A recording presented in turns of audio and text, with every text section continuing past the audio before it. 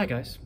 If you haven't done so already, please take a moment and click on the link to take the FSA training test, work through the settings, and be sure to select Begin Test Now. You can pause this video if you need to while you do that, but once you've done that, once you've selected Begin Test Now, please listen as I read the testing script. Listen as I describe the screen. In the top left-hand corner of your screen, you will see the navigation buttons. the back and next buttons can be used to move to the previous or the next question. The back button is currently deactivated because you're on the first question, but it will be available for later questions. Click Next now. Because you have not entered an answer for this question, you'll see a pop-up message that warns you that you have not entered a response to one or more items on the page. If you wanted to proceed without answering, you would select Yes. To remain on the page, you would select No. At this time, click No to remain on question 1. To the right of the next button, you'll see the Save button. The Save button allows you to manually save your work. This is an optional feature. If you do not select this button, your answer will be saved automatically every two minutes or when you go to the next question. Look to the right of the Save button where you'll see the Pause button. The Pause button allows you to pause and exit the test. Do not select Pause at this time. Are there any questions? If so, please ask your teacher. Now, I will describe several tools that may help you with this computer-based practice test, and you will practice using them. At the top right corner of your screen, you will see the Formulas, Line Reader, and Zoom buttons. Select the Formulas tool. A pop-up window displaying the Geometry EOC FSA Mathematics reference sheet will appear. You will need to scroll all the way down, and if necessary, use the horizontal scroll bar at the bottom of the screen to see all the information on the reference sheet. Take a moment to scroll through the information presented in the Formulas window.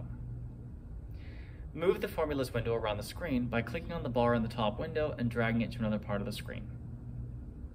Now, close the formulas window by clicking the X in the circle at the top right corner of the window. Next to the formulas button, you'll see the line reader button.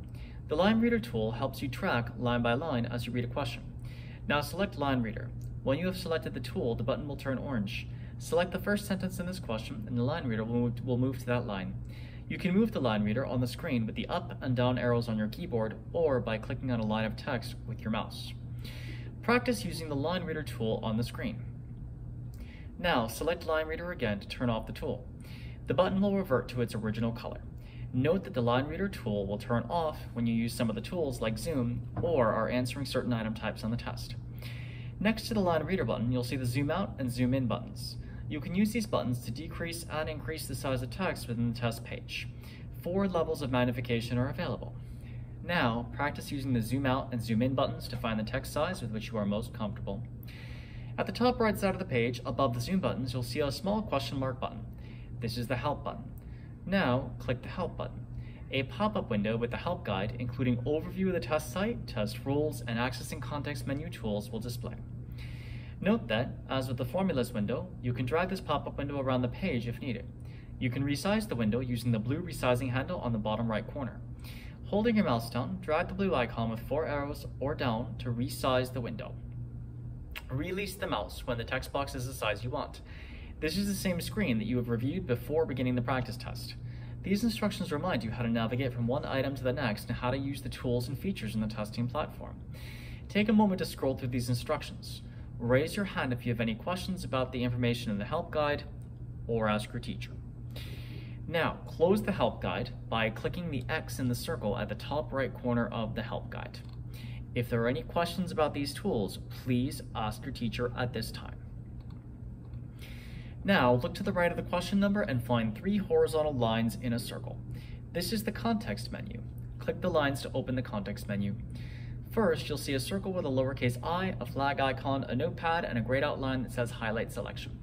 Select the lowercase i. This is the tutorial tool.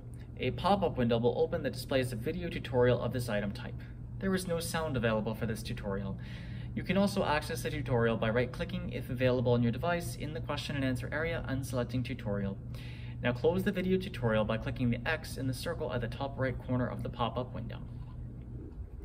Now select the context menu. Then click the flag icon for Mark for Review.